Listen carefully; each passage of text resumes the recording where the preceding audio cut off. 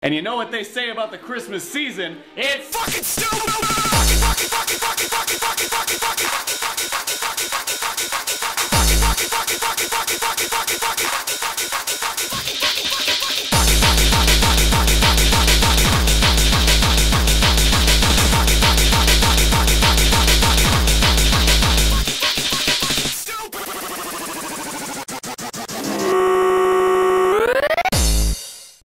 Never say that. Yeah, we've basically sold that at this point, haven't we?